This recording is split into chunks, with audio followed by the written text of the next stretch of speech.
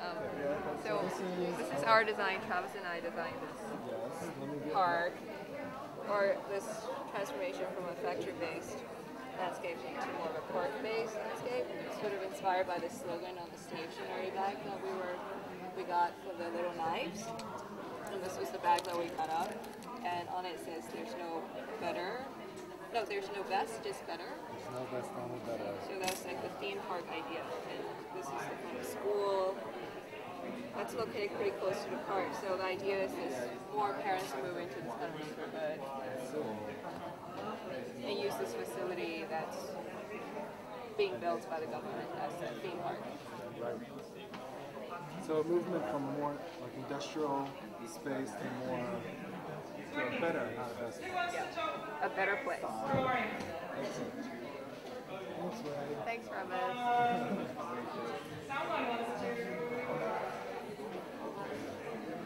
Hello, Heather. Hello. You want to talk about your your drawing, your design? Okay. Um, well, we started off with uh, present, and then here is two years later. Two years. Um, we moved from shipping to manufacturing over to the other side, and as um, the companies move over to the other side of the river, um, there's more green spaces uh, and more residential spaces as more people come in to work. Um, this is the 10 year, more green space, more roads for housing, and then a um, pedestrian friendly um, bridge and um, the new skyscraper. Okay, so the title of this piece is uh, The Present, The Present, The Present of Multiple Futures from Multiple Pasts. And the time duration that we have is actually time travel. So it's the present and multiple futures that could exist. Okay. And um, Nice and non-linear. very nonlinear. Uh, it's the it's a, a future branching a branching narrative. The future is a branching narrative. Um, this is the present, and and the present um, has kind of signal moments of the everyday. That's what these um, these eruptions are moments in the everyday where the flows of which uh, life is, the, the flows get channeled in a certain way. So the lines kind of represent the flows that um, that are the dynamism of every of everyday life, and these are the practices of the everyday in which um, the flows get channeled to produce or evolve or emerge as one future or another or many others that we could have imagined but didn't have enough pieces of paper. So future A, which, where is Bessie? Bessie, talk about future, future A. Uh, Future A is pastoral and uninhabited. Pastoral, it's kind of a, a, a post-apocalyptic back to the future, ground zero, everything's been labeled, we're, we're scrambling to survive again. And then future B, Future B is built up, but there's no grids. Everything is just sort of piled up on, on top of each other. Um, there's a bit of logic, grids, but they're still sort of not. They're still just mixed up in relationship. I think the point is that um, we make the future, but not under conditions of our own making. Who else? We want to get your music can. um, well, my partner Cole and I um, made it's like we, we, did, we don't have a title really, but it's over three minutes of time, I guess. um, person lives here and we're going to work, and the road is overtaking society, and the central business district is being built up, and there's a little person, not to be morbid, but there's a little person jumping off the building because a new, with new objects, new human behavior comes about, and um, and there's And there's two towers, ironically. we would have had more. um, so is that a problem, two towers? Well, this is reminiscent. Oh, right. Oh, I see what you mean. Okay, I think we didn't, we just ran out of time. That's all. um, and then, yeah, Mobius strips woven into society, and there's more than one because it manifests itself in different ways, the public, um, private ownership. And anything else? Um, the park. This one? Yeah. Yeah. Um, do you want to say something about the park? Oh, no, it's just there.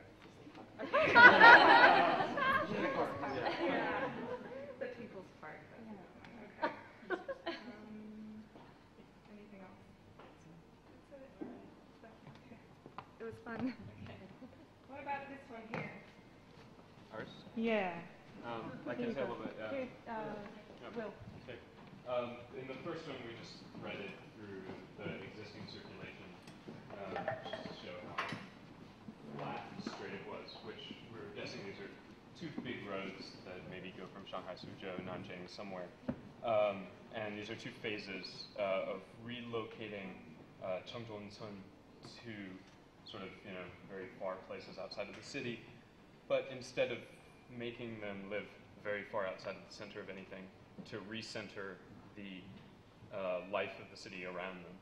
Um, so to take this place where the intersection of two roads and, and uh, many travelers come through, uh, the first is, uh, phase would be to um, construct a, a kind of um commercial building where, where people were sort of forced to slow down and stop and maybe buy things, um, along with uh, relatively high density uh, villages, but not, um, not the gigantic towers. Then the second phase, which is a little weirder, is um, to actually change the road, to sink the road and make it go um, so it's not straight, to actually start to take some of the, uh, the water forms and mimic them in, in, in the way that the um, automobile circulation goes too, in order to slow people down, in order to make them stop, and to have weaving roads that uh, sort of go over and under one another. Some of them surface, some of them sunk, uh, in order to give people who live here a walkable, bikeable space, as well as uh, the the kinds of um, transportation that people have. But the idea being to remake this a place and not just to put people into a non-place way outside of the city. And I would add, that's, that's the post-internal combustion solution. Yes. And this one is working with the, the uh, rigidity of the, the road structure. yeah, and yeah. Okay.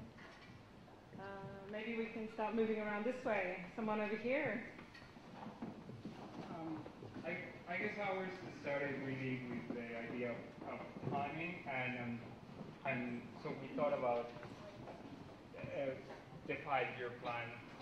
You know, the, the very sort of central uh, idea of, of socialism in, in, in China that everything can change every five years, and ev- everything is designed for every five years.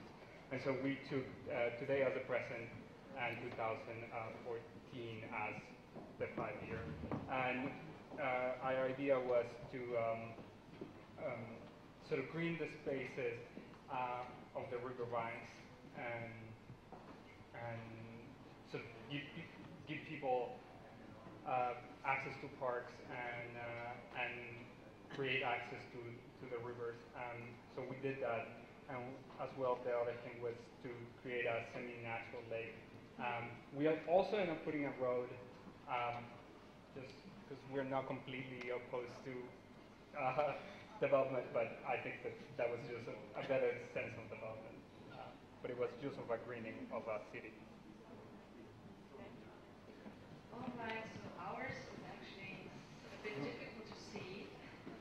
And you see it's not a very pragmatic or architecture-oriented uh, model, right? It's more of a reflection on time and the mapping of time.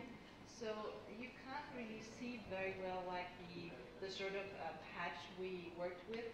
But what is very conspicuous, so this is the Pudong area, right? Pearl Tower and everything. What is very conspicuous is that um, it is um, very clear that it was taken at a specific time of day since it has the skyscraper shadows, right? Um, so uh, that made us really think about the question of uh, being able to take one of these images, patches, and just manipulate the time, which I think we can't really do or should only be doing by reflecting upon the time. So what we did was um, creating this mobility of uh, three stages, so there is still a kind of sequence of temporality, but um, we were also playing with the warping of time within um, each of the following um, warped spaces.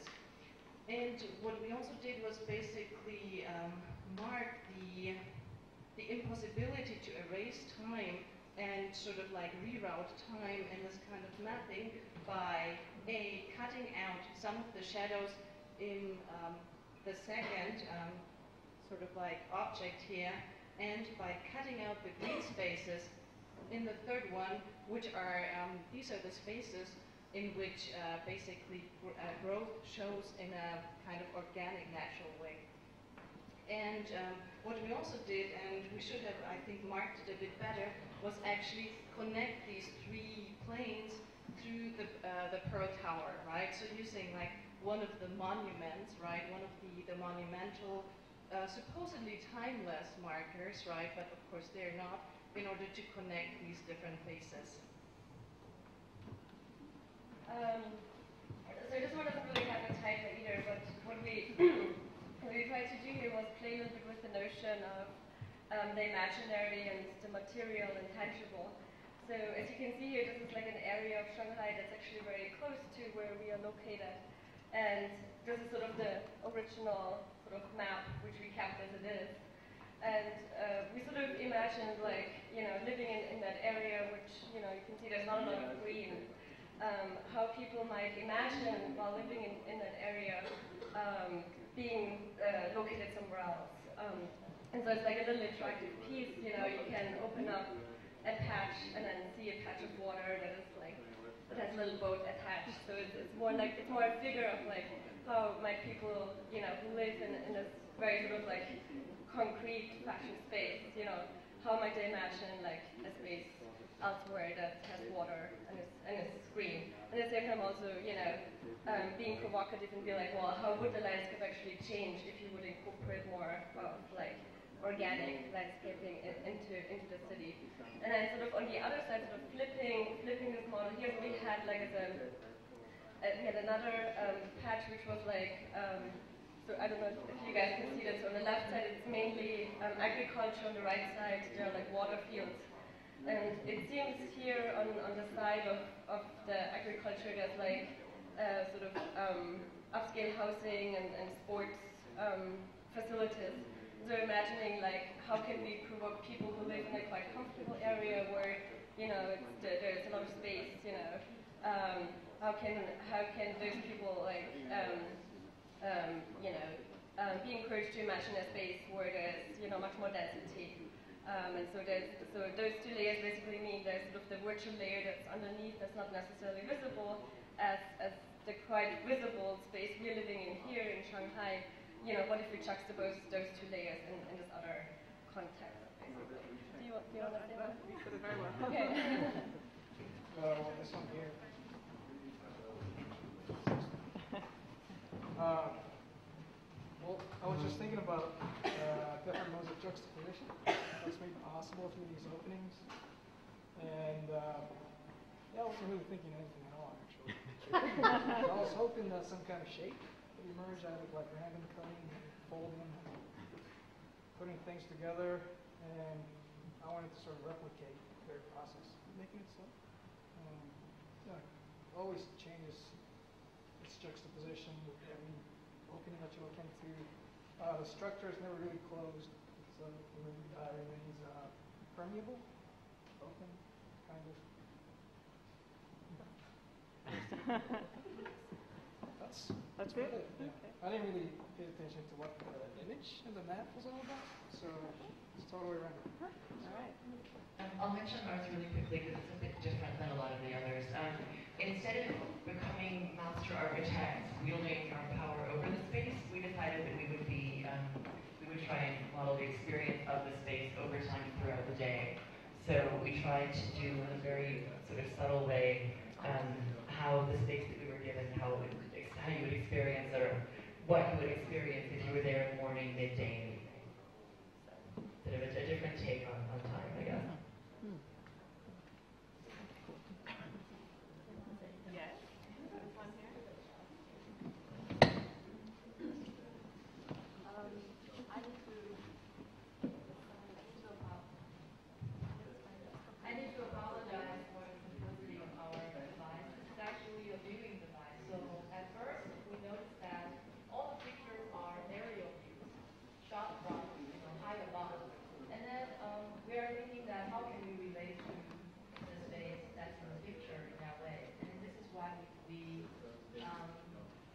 Devised this viewing, uh, you can call it a viewing machine um, in some sense.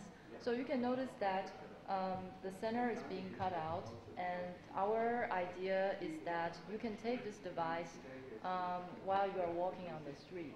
So our uh, understanding of um, time and space is through the experience of walking. So while you are walking on the street, you'll be looking through this device thinking that the center is constantly missing. But um, by asking people to look through the device, it is not to say that let's look for the center all the time. Um, this is why there are um, lines cutting through the center constantly. Um, this is a, an invitation for people to draw together their memory of the places, the smell of the food while they're walking. Um, so it is like a memory conjuring toy that you can take with you while you're walking. Three signs.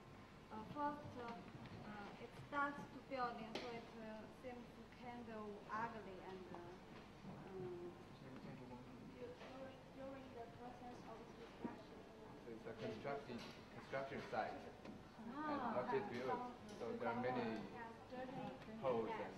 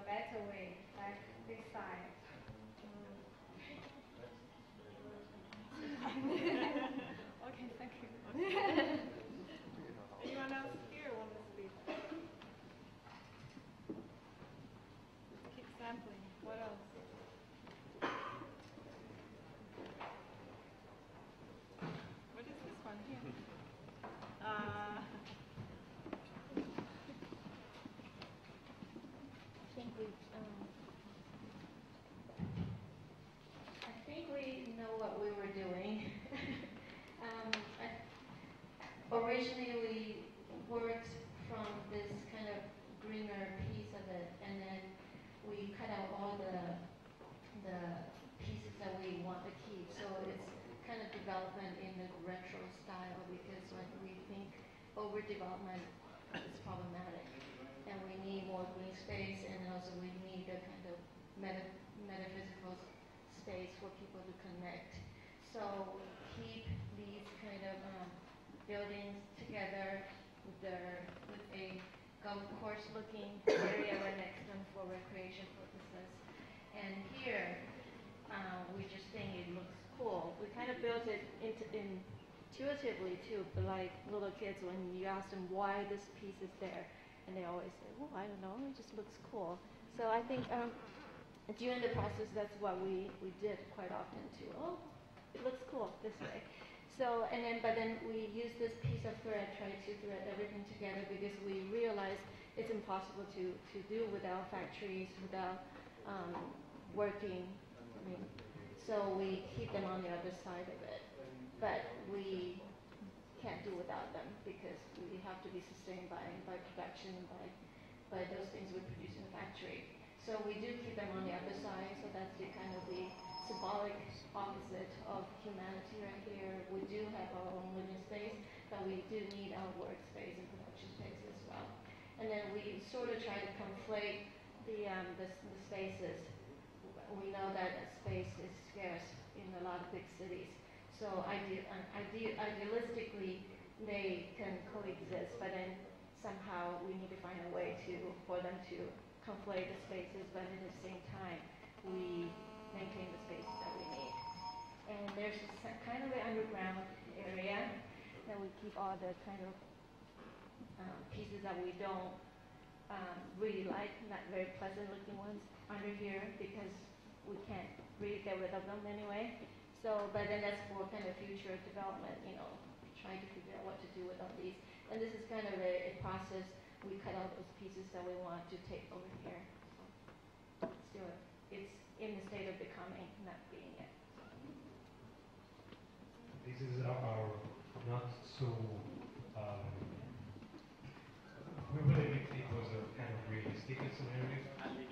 Uh, quite linear and taking into account how development works. So from this river or ocean Riviera, we constructed. Uh, well, it actually was a Japanese investment, right? and there is a discount for uh, participants at the seminar. and then we, we thought that maybe uh, new cities would uh, develop out of uh, different centers of gravity, whereas before maybe it was uh, resource access to resources or or transportation. Now uh, a hotel and a recreation center can can give rise to a to a new city. Uh, I just wanted to add that as uh, poor humanities academic types, when we are handed, or rather we picked this prime property, we thought we'd make the most use of it, uh, like good capitalists. And we took Victoria's provocation very seriously. So uh, we were thinking of creating destruction, which, is, which I think is obvious. There is also resilience here. It's just at this scale you can't see it. that is why you have to go visit. Yeah. Uh, uh, I can't help it, but I, I, I would love to hear about this. I, even if you don't want to talk about it, I would like to hear. I say it in Chinese first and, and then I find my to translate, okay? Okay. 呃，这是一个未来的区域，就是说， 嗯，就是说这是一层一层的，最下面是大陆架或者怎么样，然后下面上面一层这是一个陆地，这是一个住宅区，然后这可能是娱乐休闲区，然后这可能是我们将来的交通工具啊什么，然后就是一个卫星。This is a tower with different levels, and each level has its own function. 最后一层 你就说海平面好了。第二层是陆 Uh, 地。 the second floor is grassland. The third is for living neighborhood. This is, Entertainment area. uh, this is a public space for entertainment. And this is the future vehicle. Uh, flying machine. Flying cars. Flying cars? Yeah, yeah, yeah. You can think. Designed by David. That's maybe we can. David is introduce. Your design. That's just the result of some confusion and last minute slack. Problems in translation. Maybe the point is that it's a lot of work and effort and lots of waste uh, resulted, so more waste than anything. I don't have anything more to say. Should we keep moving? What is this one? Ah, yes. Tell me if I'm jumping too fast.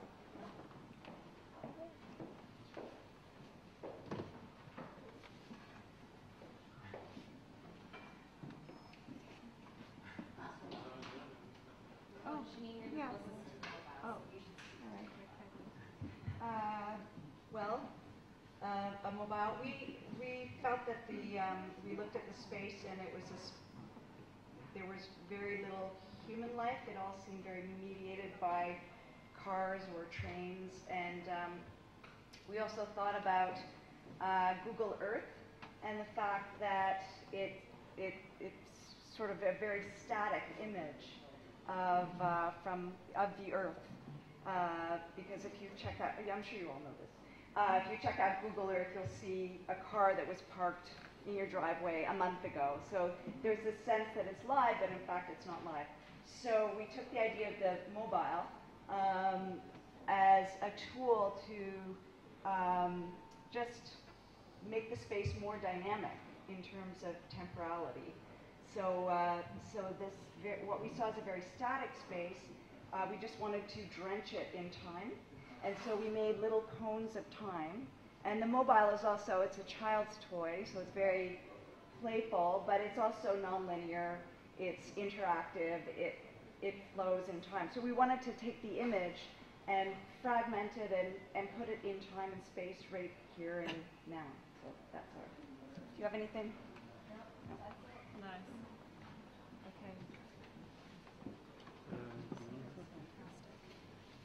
Uh, okay, so our primary image was pretty much just the countryside, and so uh, we didn't really have a plan when we were starting. We wanted to make something like a model, but I think our temporality came out of the fact that uh, uh, Juxin Wei here is from Shanghai, so I think the thing we were talking about is what is the relationship between the countryside and then the suburbs. And then, without really thinking about it, we started covering up all of the countryside, and so we were sort of talking about, uh, I don't know if this is academic discourse or if it has to do with planning, but you know, the invisibility of, of the countryside. And so uh, a couple of anecdotes that, that uh, we were talking about as it was going on. Was, uh, he's a student at Fudan University, and his, his, his travel from the suburbs every day on the bus is something like uh, uh, almost two hours, what you were saying. And we were talking about the night delivery trucks bringing the food, and so we, we were just trying to think about these relationships. This is a truck. Love the 3D truck. Do you want to add anything? No. Our images um, really already suggested a developmental sequence, and so this is really a meta critique on the development process because it's about human-environment relations in the Delta here in the water world of Suzhou, where we may have had the only images with clouds, but actually we started thinking about that. And so this is um, taking the middle plane as it's a cyclonic construction. It's a tornado. It's a, and it's taking up all It's end of construction. I love it.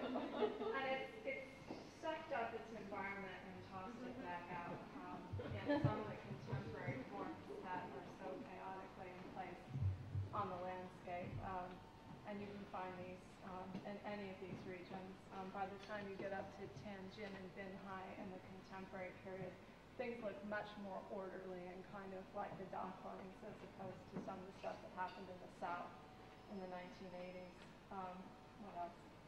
Yeah, well, and perhaps the last one, which is the last one in the time sequence, a few years after the uh, typhoon uh, has come through, um, is the idea is to rebuild as much as possible from the old city, but in the spirit of development, to layer it with uh, these hyper contemporary uh, global uh, constructions uh, like this space station like thing, which might have been something very different, but um, uh, also like uh, as you can see, the city bursts out of its, fra its frame and uh, already points elsewhere into an uncertain future. Um, so in this, we were um, primarily concerned with looking at the uh, edge condition along the riverbank, and um, the progression was over a six-year period, um, and just playing with, um, you know, seeing how the residential areas would grow, how industrial areas would grow, and how the waterfront would uh, could be converted back into public space. Um, I don't think we reached any conclusions, but do you have anything to add?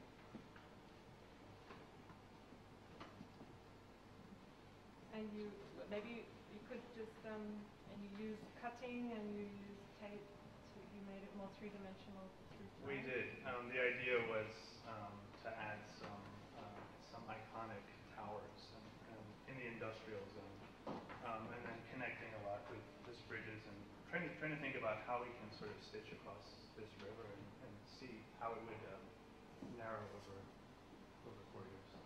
So we weren't very creative with like three-dimensionality, but we tried to identify some of the the actual um, facilities on the map. So we thought this was a school, and it was sort of in a suburban um, surrounding, and there were some factories throughout the space. So we sort of collected all the factories and um, the haze, the cloud that was that appeared on the map, and created sort of this area where factories were centered, and this intermediary um, suburban development, and then tried to double the kind of um, we were trying to create a theme park with the kind of greenery that was available. So uh, we also noticed there was something on the packaging of the stationery, and the brand was something called um, let me see, "No best, only better," which was perfect for a theme park in China. This kind of slogan.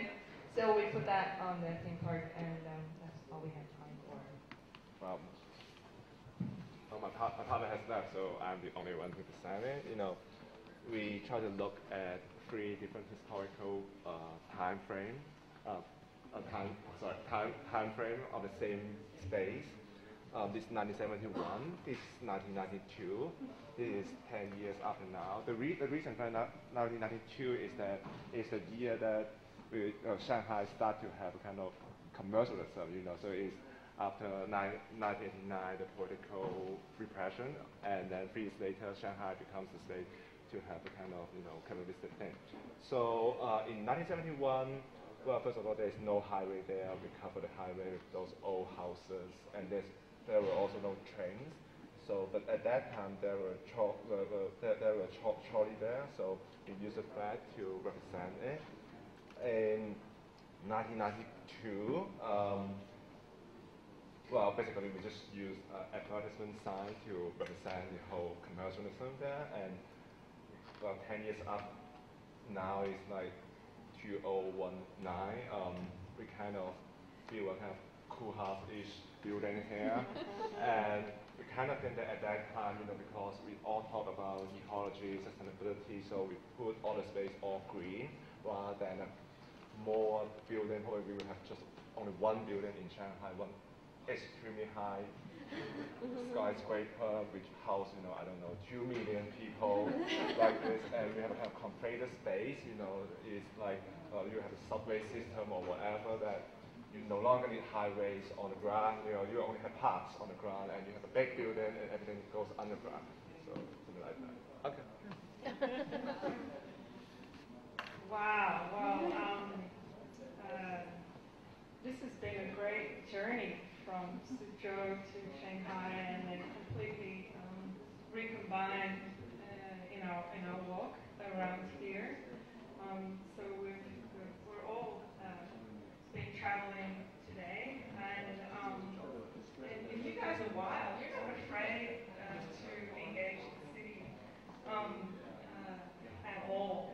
Uh, so I think it's been really a good uh, experience. We all start to know each other a little bit more, um, and you're all very uh, strong.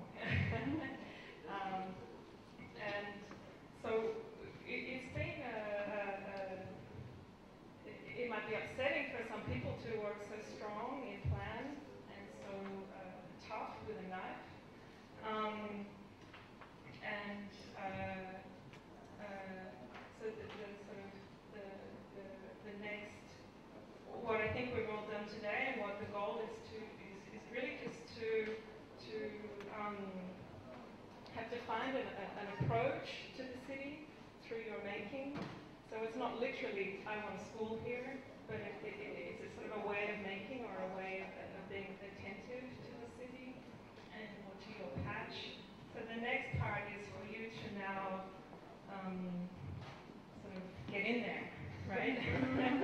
Go there uh, and, and be in, inside of this, not looking down on it, and to to start to uh, observe anything, any, any any person, anything you see happen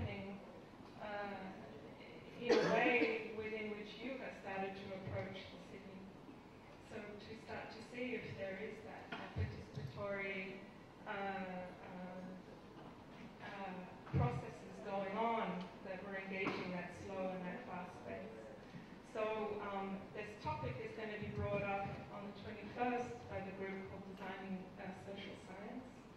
So I understand that not everyone is going to be able to get to your patch, but I would like to challenge you to, to try and to bring uh, some of your photos and some of your thinking and your observations um, on the um, on the 21st, uh, and to share that uh, back with everyone. Um, so thank you all. This, this has been such a.